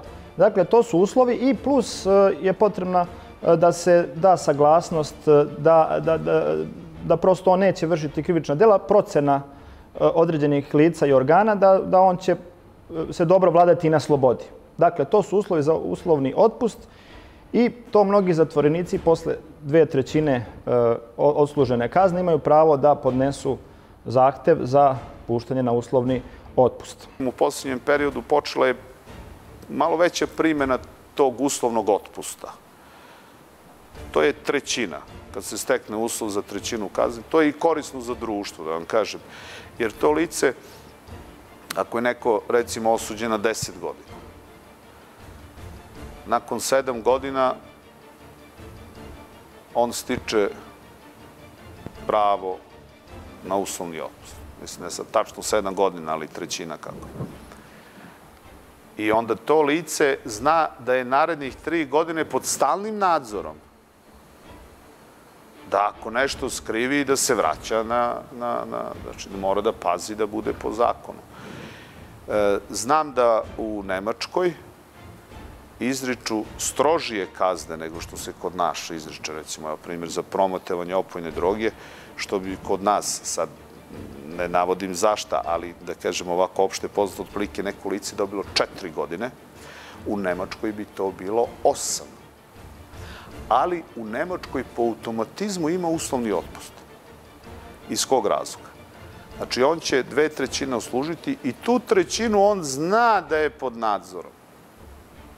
I on spazi, vodi računa da se socijalizuje, vrati u društvo i nastavi da živi jednim normalnim životom i shvati da mu vršenje krivičnih dela ne donosi nikakvu korist. Najteže što si odvojena od svojih. Ja, na primer, bilo mi najbitnije kad pozovem kući samo da čujem da su živi i zdravi, jer mnogo slučaje je bilo da su, dok su na izdržavanju kazne, dok se nalaze, da su im roditelji, otac, majka, brat, sestra, daleko bilo dete ili nastradali. Ja sam molila Boga samo tako nešto da ne čujem. Ne mora da dolazim ni u posao, samo čisto da ih čujem da su svi živi, zdravi i da je sve u redu. Izuzetno je bitna podrška porodice u smislu i obilaska zatvorenika, u smislu paketa, u smislu novca, u smislu toga da će nakon izdržane kazne lice zna da ima gde da se vrati, da može da započne nov život, život u skladu sa pravilima, život na kraju krajeva kojim žive većina ljudi koji živi. Znači, svi mi živimo jednim uobičajenim životom. Radimo kući, e, oko porodice, oko dece, e, druženje s prijateljima, e, pružimo pomoć negde prijatelju i tako dalje. Živimo jednim, pa zasigurno od 7 miliona ljudi koji žive u Srbiji, 6 miliona, 6,5 miliona živi jednim normalnim životom. E, tim licima podrška porodice znači da se mogu vratiti u taj svakodnevni normalni život koji je zasigurno i najlepši. I stara izreka kaže najlepša je sredina. Ni na vrhu, ni na dnu. Sredina je uvek najlepša. Podrška porodice je svakako bitna, e, onih porodice, da kažemo, funkcionalnih, relativno funkcionalnih, čije se deca, bilo ženskog, bilo muškog pola, nađu u zatvorskoj sredini, a postoje različiti razlozi i situacije u kojima se jedna, da kažemo, relativno integrisana osoba ovaj, može naći u situaciji da ovaj, podlegne nekim uticajima i da spletom okolnosti, neprijatnih okolnosti se nađe u zatvoru. E, tu je porodica jako bitna. Ja sam imala slučajeve iz svoje prakse gde je jedan momak, adolescent, tek navršenih 18 godina, prosto nije znao da, da su mu podmetnuli drogu, ali on zaista to nije znao i on se našao u jednoj tako neprijetnoj situaciji e, koja je uticala da se on potpuno destabilizuje i da razvije jednu jako e, tešku kliničku sliku koja je imala psihotični kvalitet. Ali je bila prolaznog karaktera jer je posle toga se dosta radilo sa njim i on je ovaj, i na osnovu našeg veštačenja, ne znam kako se završio ceo slučaj, ali je ovaj, bio oslobođen svega toga. Naravno i kazne, neku uslovnu kaznu je dobio, jer ipak je kod njega pronađena droga, ali je upravo zbog saznanja da je, da je to podmetnuto i da on nije znao i da on nije ni u čemu učestvovao aktivno, to bilo jako blaže, ali sa mnogo teškim sekundarnim posljedicama za njega. Pa podrška porodice je sigurno ovaj, jako bitna. Evo mi skoro imamo slučaj e, e, čuveni policijski inspektor Ljuba Milanović, on je to čak javno i rekao u jednom intervju. Ovaj, e, desio mu se slučaj koji ga, je, koji ga je pogodio kao grom. Naime, njegova čerka je uhapšena upravo kao narkodiler, a ona je pomagala svom tadašnjem dečku i e, Ljuba Milanović je naravno čovjek nije znao gde se nalazi u tom trenutku, ali je e, ipak e, podržao svoju čerku i poslao je na lečenje i ja sad ne znam, to se desilo pre recimo godinu dana, ja sad ne znam tačno, ali sigurno je to pravi potez i možda najbolji potez koji jedan roditelj može da uradi za svoje dete. Ako ga se odrekne, to je siguran put u, u nepovrat. Porodica je svakako u svemu jako važan faktor i agens socijalizacije i mnogo toga dobrog i lošeg potiče iz porodice. Dakle, e, podrška porodice u slučaju žene koja se našla u uslovima zatvora je od neprocenjivog značaja. Ali sad se postavlja pitanje i kakva porodica. E, koja je ta porodica koja treba da pruži ženi podršku? Ako je ona došla iz jedne rasturene, nekompletne, disfunkcionalne porodice, kako vi možete očekivati da ta porodica pruži njoj podršku? Ona u krajnjem slučaju se odriče od nje. Ona je zapostavlja, i e, one se nalaze u jednom stanju očaja i beznađa. Najviše sam sanjala dete i stalno sam ga sanjala tako kako sam ga ostavila. Stalno taj period sam ga sanjala. I dan danas kad ga sanjam, iako je veliki sa 25 godina, ja ga i dalje sanjam kao 11-godišnjaka. Uglavnom su mi snovi bili vezani za njega, za porodicu, ne znam, neka letovanja, neke pop... Desi se verovatno dan takav, razmišljanje, čitanje knjiga. Ja sam mnogo čitala tamo. To mi je jedina razloga koju sam mogla da posvetim sama sebi. To je to čitanje, pa verovatno knjiga, pa san dođe kroz knjigu ili šta već. Nisam imala neke košmare, Ono što je karakteristično za žene je i to da treba istaći da su one ovaj, jako osetljive zato što se one odvajaju od svojih e, porodica, osetljivije nego muškarci. E, zatim, gubitak, da kažemo, gubitak ostvarivanja prava žene na materinstvo. To je za njih posebno osetljivo, te ih i to čini vulnerabilnijom kategorijom od muškaraca. I najmanje nesuglasice izazivali su tuče među zatvorenicima. Pa, uleti straža. Ide redom bi ne pita da li je učestvovao, da li nije, šta je bilo. Posle pitaju i to je to. Mada su i to redki slučajevi, jer zatvoren si, uzak prostor, straža i odmah tu kamere imaju, straža obilazi non stop, na svakih sat, dva oni obilaze.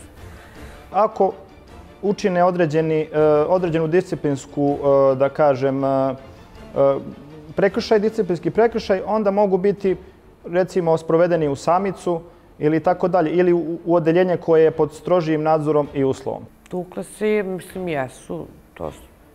A sad seksualno zlostavljanje žena ženu, ja sam nešto čula, to je bilo, bila sam u drugom nekom paviljonu, ali ja ne znam kako je to izvodljivo, jer straža je tu da vrisneš, čuje se. Ako je to neko veliko zlostavljanje, normalno da ćeš da vrištiš. Uvek u pitanju stanja svesti i krajnjeg cilja. Koji je krajnji cilj?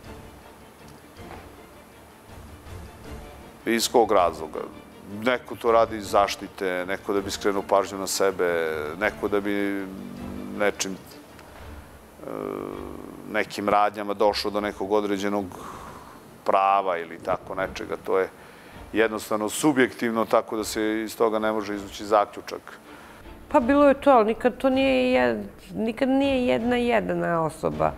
Uvek je to ako dođe do tuče, ova skoči da brani ovo, ovo, ovo, to već ide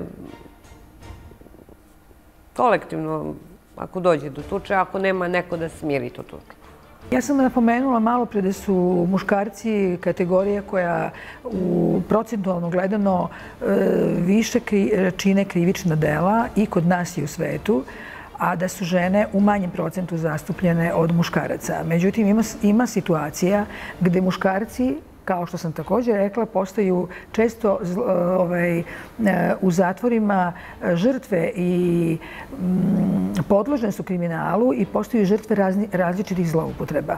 To su neke banalne gluposti koje mogu da se rade kad ima dežurna na higijeni ili tako nešto, pa zlo može da, eto, tako.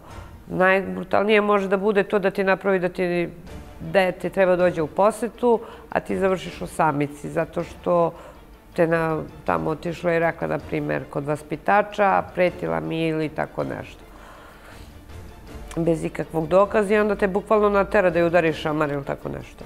Postoje žene e, koje su zloupotrebljene od strane muškaraca za vršenje nekih krivičnih dela, e, koje su u stvari bile predmet i, i cilj interesovanja tog nekog pripadnika muškog pola, da li je to njen muž, da li je dečko, ili postoji problem u, ostvarivanju do kraja E, tog krivičnog dela u želji da se uspe u tome e, smatraju da su žene pogodne i da se na njih neće e, obratiti pažnja koliko bi se obratile na muškarce. Tako da one često postaju žrtve tih zloupotreba, pa čak i nekih dilera koji ih koriste za svoje neke akcije. Znate šta, ja sam, ja ne poštujem koga drugi poštuju. Sad vi poštujete, na primjer, ne znam, Marka.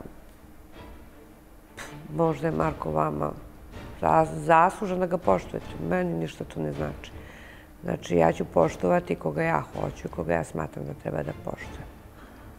Znači, to treba da se zasluži poštovanje. Sad ne da se kupi, niti bilo šta, nije sve o parama tamo nemaju pare da bi mogo da kažeš kupuje se ili tako nešto. Sve sasvim drugačiji prikaz kakav si čovjek. Postoji posebni, posebni e, ljudi, povratnici koji ne mogu da budu više od mesec dana na slobodi. Nije veliki broj, ali ima jedan određeni broj do toga da oni jednostavno ne znaju drugačije, osim nekim krivičnim delom da dođu do novca i to je to. I oni faktički skoro ceo život su provode u zatvoru. Žene su manje agresivnije nego muškarci i manje povratnica ima. Ali ovaj, svakako da eh, sa ženama koje su određene strukture eh, labilne, emotivno labilne, koje nemaju uporište u jakom porodičnom sistemu, u jakoj porodici, koje su mm, regrutovane iz nekih, e, da kažemo, marginalnih sredina, nisu iz stabilnih porodica. Prosto je smešno i pričati da bi neko iz stabilne porodice e, mogao nešto da uradi, mada ima i takvih slučajeva. Ali te žene koje nemaju jaka uporišta van zatvora, kada, se, kada osluže kaznu, one svakako postaju ponovo e, podložne tim manipulacijama e, koje, se, e, koje one pronalaze ili njih pronalaze van zatvorske, van zatvorske sredine. A jedan određeni broj ljudi koji su povratnici u tom smislu, pa je dva put izdržavana kazna ili tri put, tako dalje. Naravno, mislim, kao i za sve u životu, znate, to je isto nema tu sad nekog pravila koje se može oko toga, ali to je jedan poseban svet koji se teško može e, sagledati i shvatiti iz ugla jednog običnog čoveka. A naravno mi smo dužni kao društvena zajednica da štitimo pravni poredak i moral.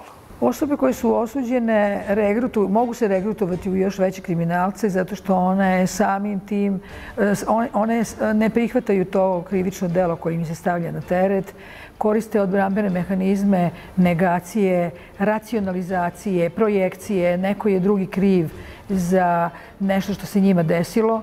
Prvi put e, ja sam bila 2003. godine. E, ja sam za vreme sablju uhapšena dva puta. Prvi put u Kragujevcu, sam bila 15 dana, nađen mi je pištolj.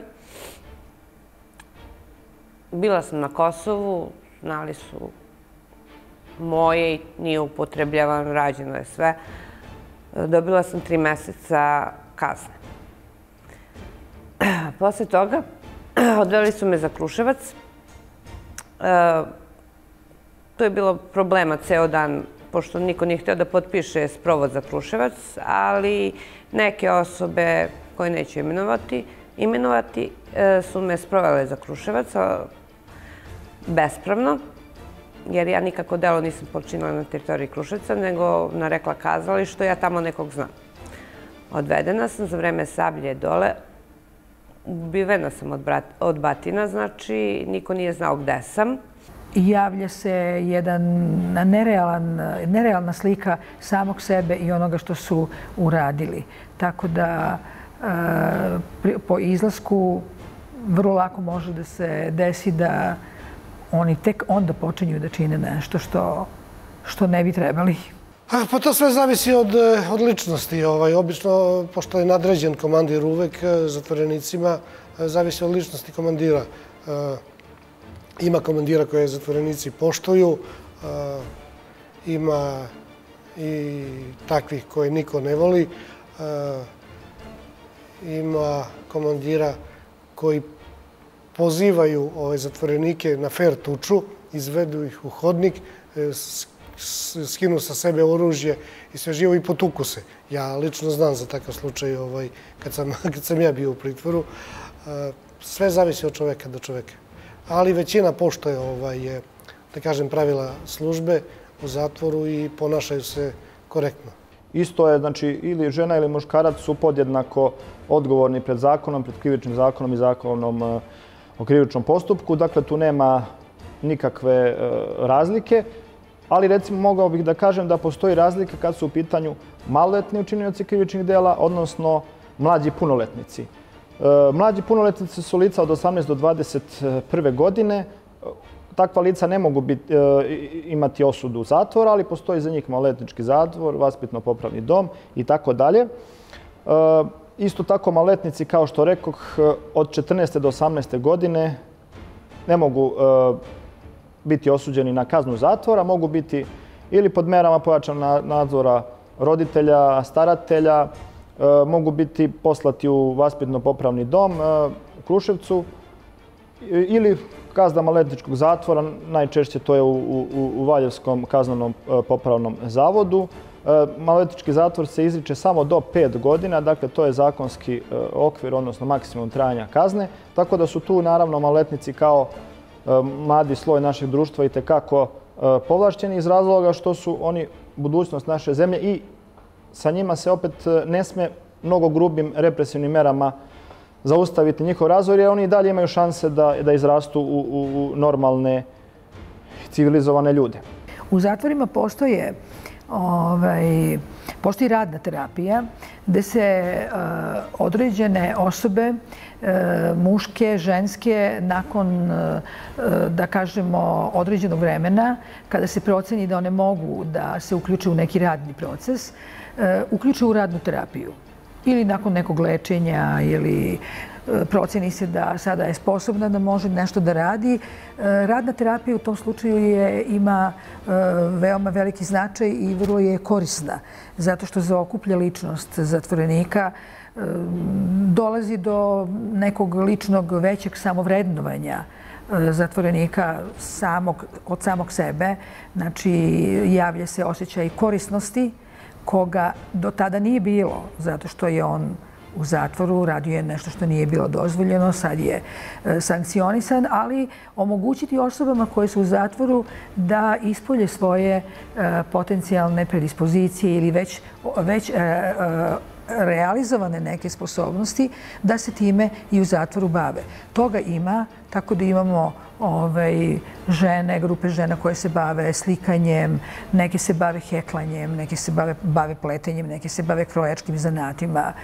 Neki rade u kujni, to isto važi za muškarce ili rade po radionicama, pa nešto, nešto odrađuju. Znači, e, ne sme, ne sme da se prepuste tako e, osjećanju e, da kažemo, nekog lenčarenja i samo čekanja da dođe ručak i da dođe vreme kada će oni ići da šetaju, već ih treba uposliti da se razvije kod njih, kod njih ili povrati osjećaj korisnosti, što može biti jako značajno kada izađu iz zatvora, da se onda, što je najbitnije, integrišu u društvo, mora negde da se uposle da rade. Trpezarija, ta neka režijska mesa kao što je trpezarija, kurir, e, e, na posetama isto to su režijska mesta, oni su imali oko 7000 dinara platu, da kažem, a krojačka oko 5, a svi ostali su imali baš bukvalno da kupe mesečno boks cigara i 100 grama kafe. E, van toga se imala i ekonomija gde sam ja najduže radila, poljoprivreda.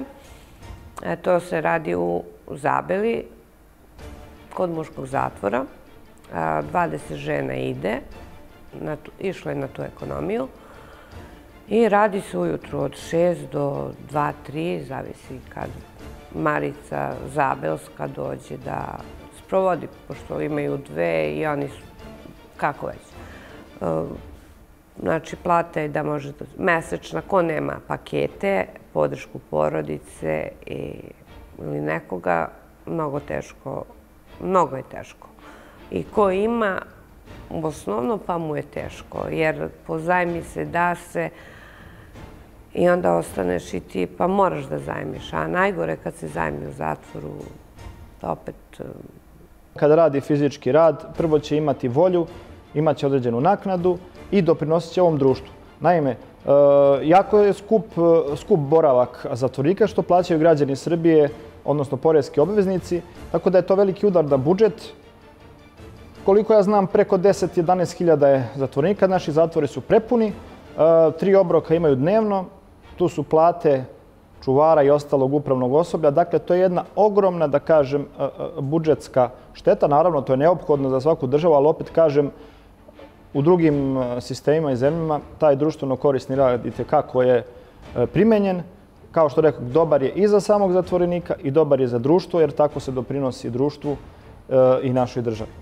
Vreme najsporije prolazi u zatvoru i u bolnici, ali i većina ljudi radi nešto.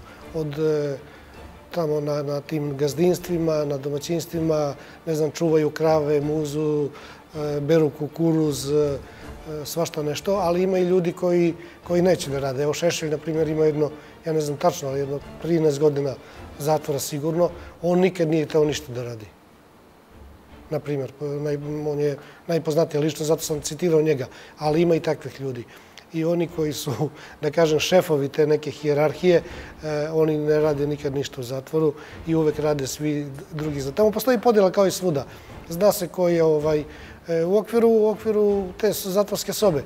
Zna se ko čisti pod, ko riba WC, e, ko kuva kafu, ko donosi, ko, spre, sprema ručak, ko secka ovo kad im donesu za ručak, a ko ne radi ništa, ko je ovaj šef.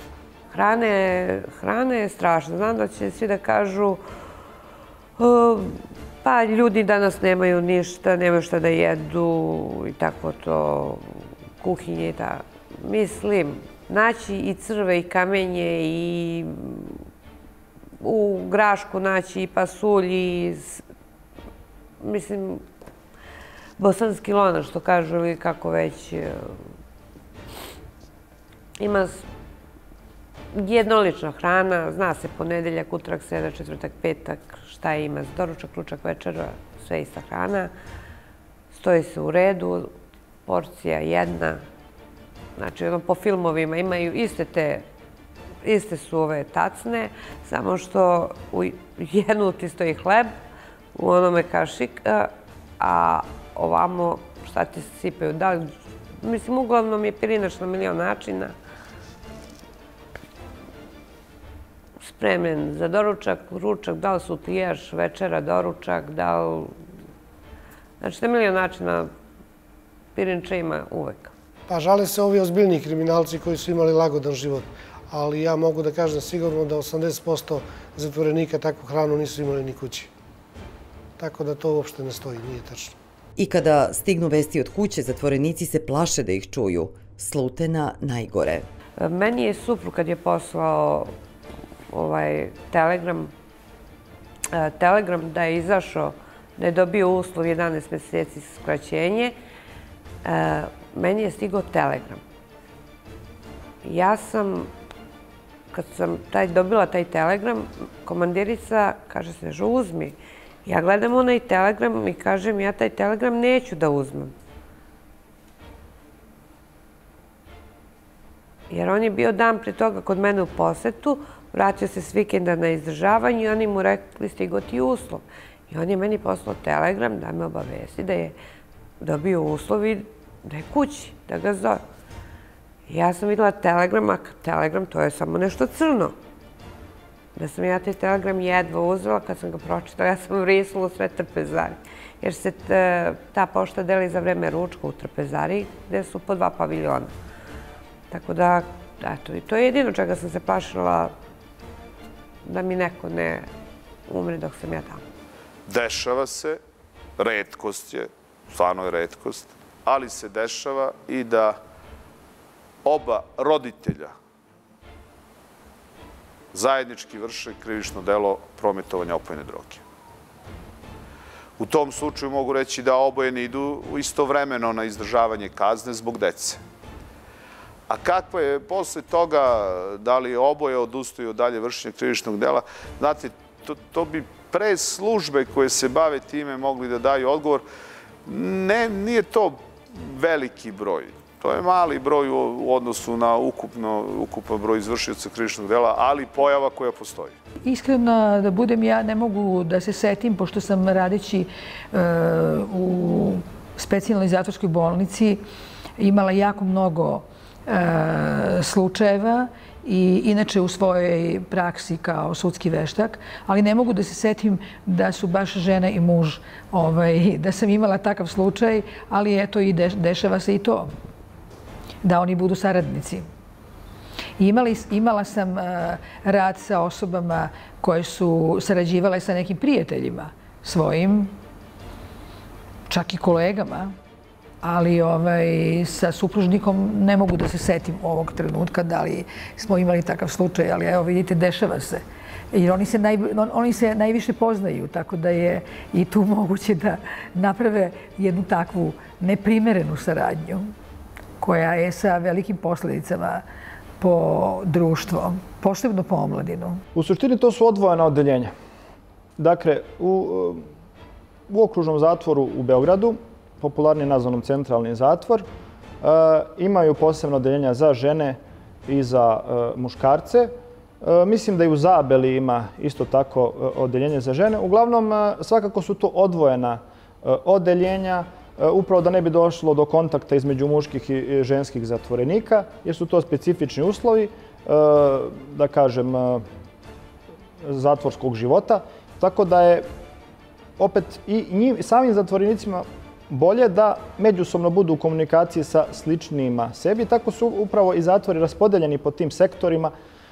A1, A2, B1, B2, V1, V2, na primjer, e, baš po e, osudi, odnosno težini krivične sankcije koju su pretrpili i sličnosti e, krivičnog dela. Da bi upravo bili sa sličnima sebi, kako bi, opet kažem, taj postupak resocijalizacije malo bio uspešniji. Ja sam rekla da su žene ovaj, e, vrlo osetljive i specifična društvena kategorija u zatvorima, znači zatvorenice, samim tim što su one treba da budu majke ili su već majke.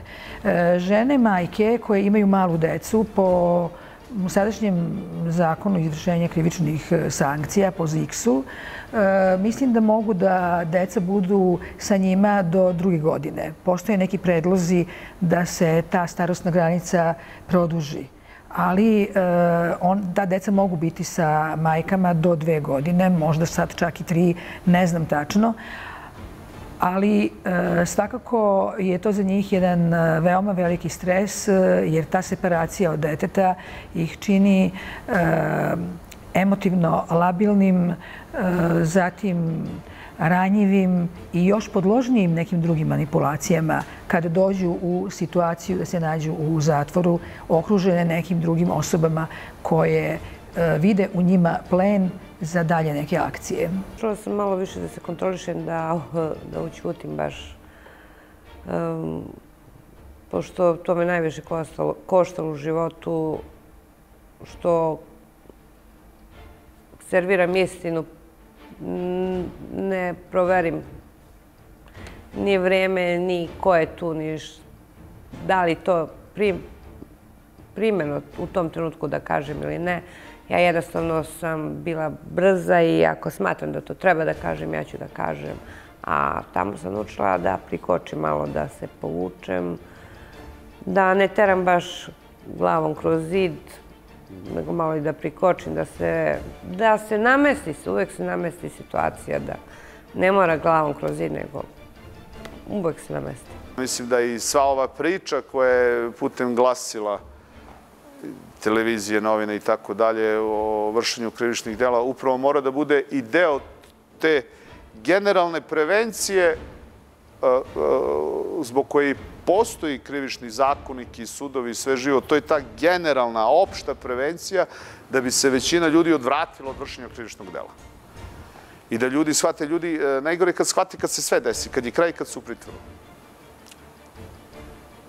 Treba izbegavati maksimalno izvršenja krivičnog dela. Ja sam svesna da sam pod lupom i da ću uvijek biti pod lupom. Tako da mi ne pada na pamet da se vraćam. Prvo dete mi ima 25 godina, veliko je.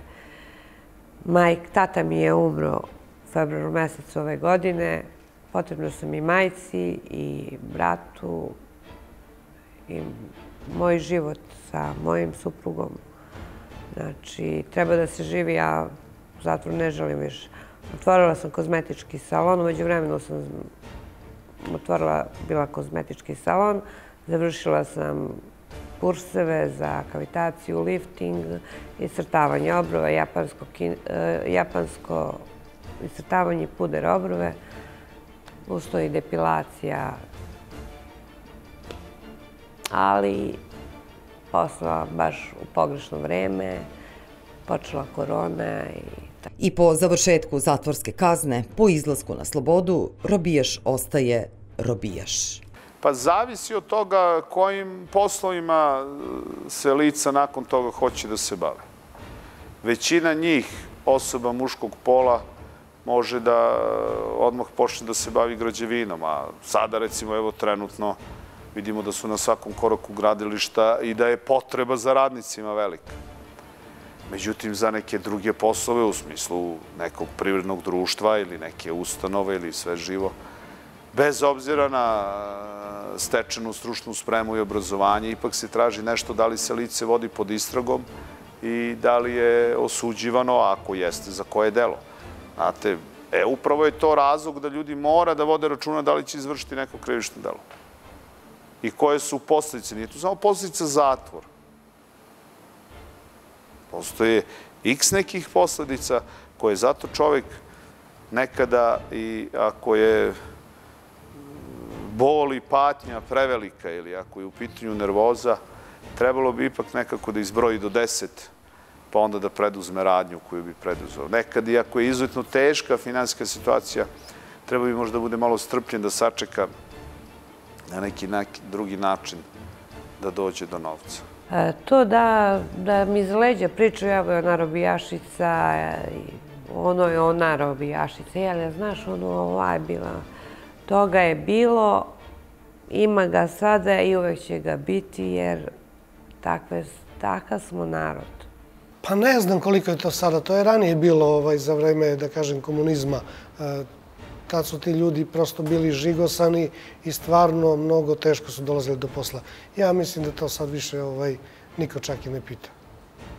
A toliko malo imamo radne snage e, u svim oblastima, svi traže, ne znam, od, od konobara i kuvara do berača, trešanja, jagoda, tako da mislim da to ovaj, više da je to prošlost.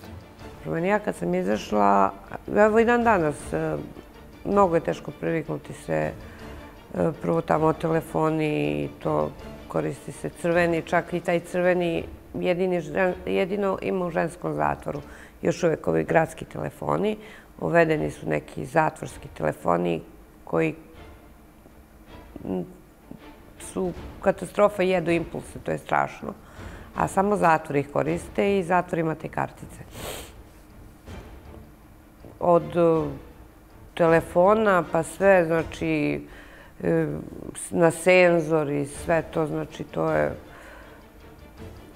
Mi smo tamo dobili plazmu, nismo, jedan smo se dogovorili kako će da je koristimo, nismo ni znali mnogo funkcija da koristimo.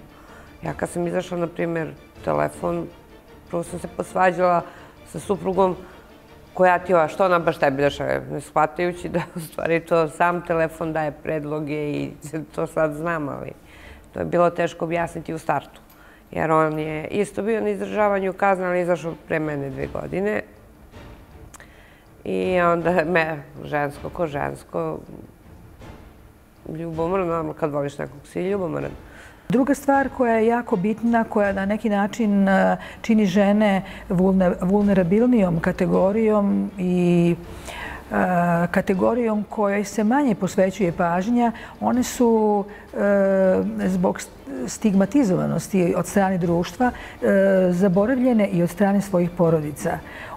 One su manje posjećene od, e, od strane svojih porodica, za razliku od muškaraca koji, koje posećuju devojke, članovi porodice, gde čak to postaje u nekim slučajevima kod nekih e, zatvorenika i veoma popularno otići posetiti nekog zatvorenika koji je napravio neko krivično delo, dok žene e, ostaju nekako po strani i prosto ih se društvo, odnosno uža porodica, istidi zbog onoga što su one uradile. A ja sam vukla tu grupu zbog, zato što sam došla, bila pod, vodim se pod bekstvom i rizična sam grupa, samim tim povratnik sam. I ja sam vukla tu grupu V2 koja ima posete svaki mesec sat vremena i svaki drugi mesec sat, sat dva. Daleko bilo, imala sam. I na svaki drugi mesec imaš pravo na bračnu posetu od tri sata. Ja sam imala to od sat vremena preko pulta uz prisustvu straže. Imala sam, zavisi, na dva sata, tad mi dođe majka, dete, jer za pultom ne možeš, zabranjen kontakt, bilo šta. A posle tri sata mi je suprug dolazio Znači, majka, dete, sestra, mislim, porodica.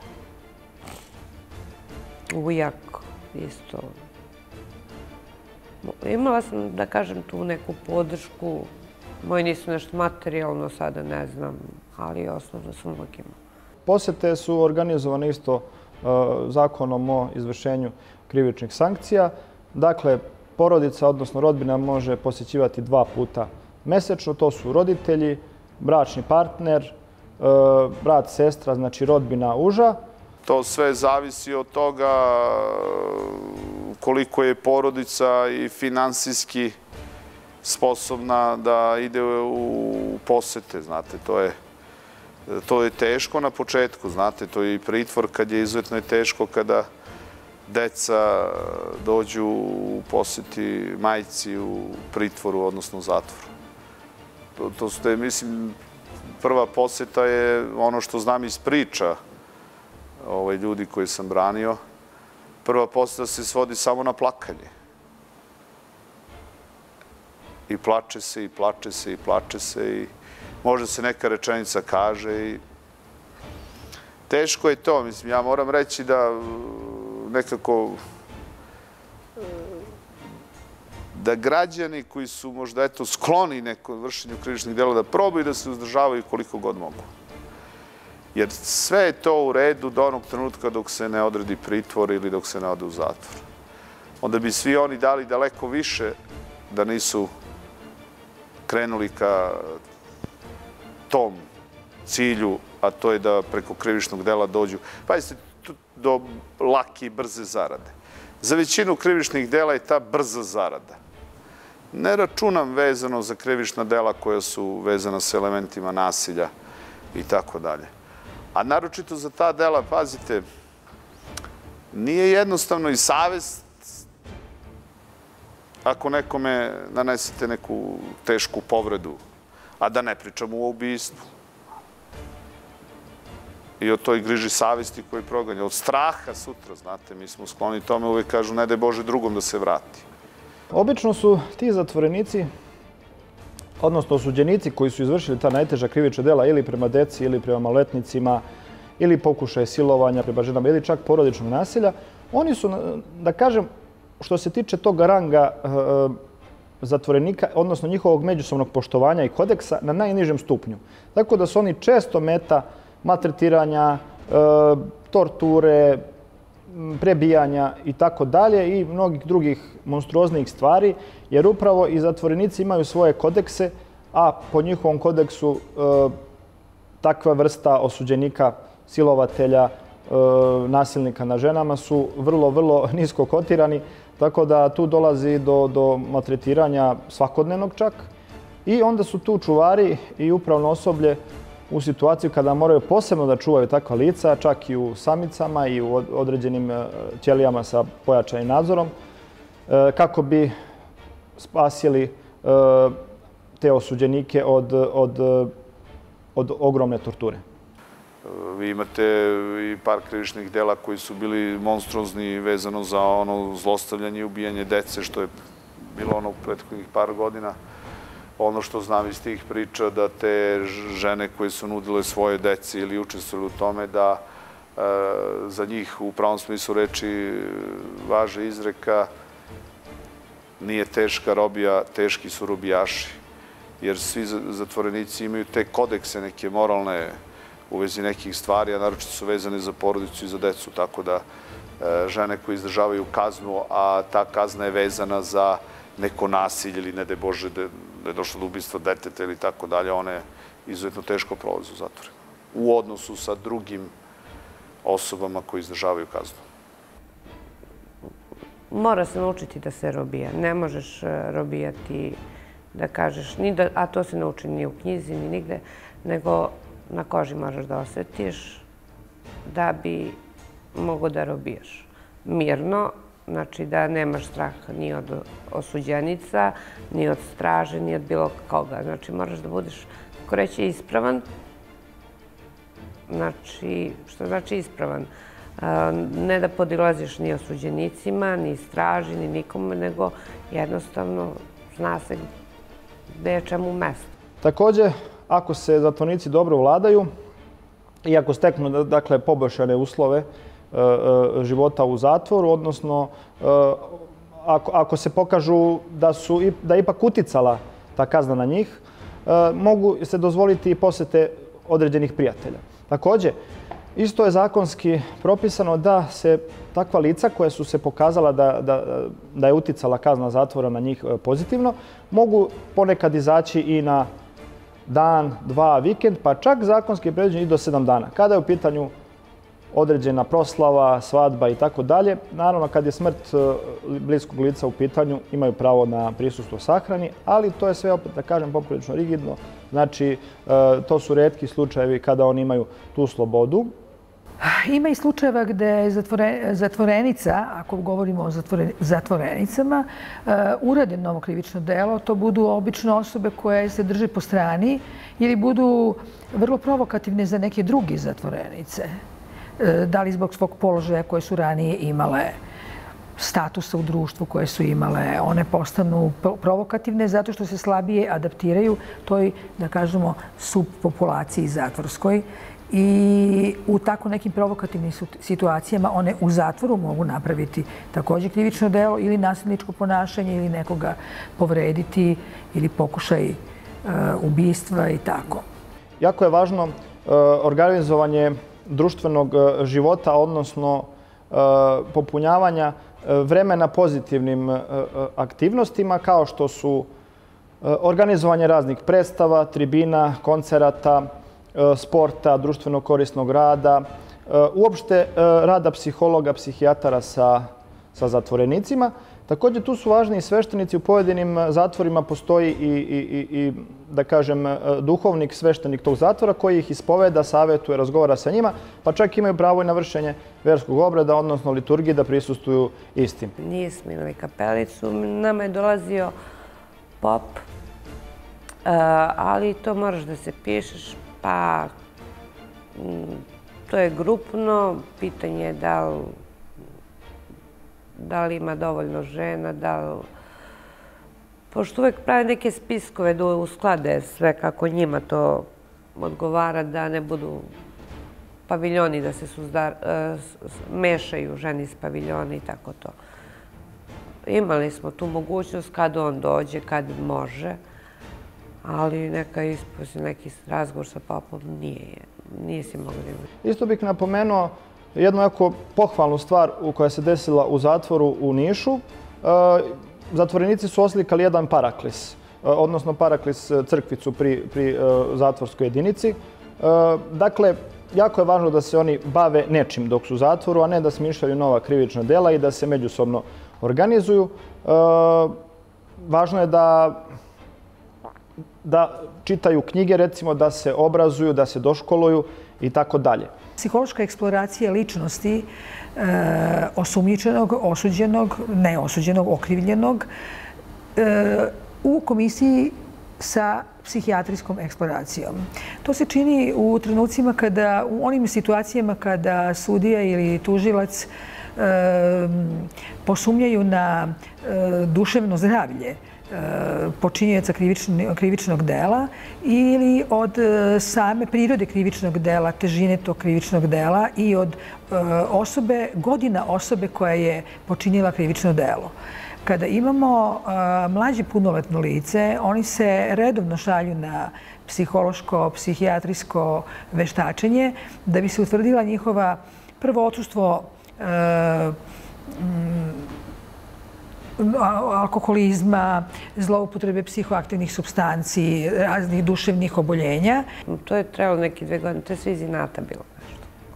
Iz nekog inata, osoba s kojoj sam bila pre, tu je sve počelo. Pa mi je nabacivano i nešto što nije, onda sam ja inatom uletela u sve to i ja sam posle, kad je to postalo pravosložno, ja sam otišla prvo za Crnu Goru. Nisam koristila narkotike nikakve do samog padanja kao ni dan danas. E, pa naravno, ovaj, pa, gde bi, pa gde bi ako ne, neće u zatvor, zato što su tamo ovaj, e, uglavnom kriminalci i zavisnici. I naravno da dolazi. Zatvori su, ne mogu da kažem puni, ali, ali ovaj, ima je sigurno. Ima i to dosta. Uvek postoji način E, za svaki sistem postoji antisistem. To ništa nije čudno, čak nije ni, ni zabrinjavajuće. Ovaj. Znači, uvek, uvek postoji način da se, da se unese od e, korumpiranih e, stražara do, do nekih, do nekih zaista maštovitih ideja koje, koje ljudi uvek ovaj, pa gledali smo u filmovima, to je stvarno tako. U mnogim filmovima. To je neke dve godine trajalo, to nije bilo nešto u, stalno, stalno, stalno, nego čisto ono, ne, aktivno je bilo nekih šest meseci možda, baš rizično, jer tad je već, problemi su mnogo veliki bili, tako da to je taj, šest meseci, da kažem, bilo kritično, a neke dve godine uzmi stani, uzmi stani, uzmi stani. Znate, ranije nije bilo kokain, heroin, bilo je onaj opijum, morfijum i ono što se nekada je bilo drugo, nekada je bilo treće i uvek će da postoje ti ljudi koji su skloni toj brzoj zaradi, skloni vršenju krivičnih dela, skloni da su nasilnici, ali je e, korisno zaustaviti one koji nisu to, nego se na neki način uvuku u tu svu priču, znate. Uvuku. Vi imate devojaka koji iz ljubavi izvrše određena krivična dela. Jednostavno, zaljubljivanje, slepilo, zaljubljuju se u dečka koji se bavi prometovanje opojne droge, iz te zaljubljenosti, iz tog slepila i one ulaze u tu priču. Malo koji iz zatvora bilo šta iznese od garderobe, šampone, to higijene, šta je ostalo, to se uglavnom poklanja. Pokloniš kao osobi koja je tebi draga ili ono. Kažem, pričate, vi kad se izađemo, da se nađemo, planiramo nešto, eto tako. Šta kad, kad se vidimo na slobodi s one strane. Mislim, to se ta dešava. E sad, kad ostane posle sama, razmišljam kad izađem, kada taj trenutak, ali onda kažem, ma samo da izađem na kapiju i to je to.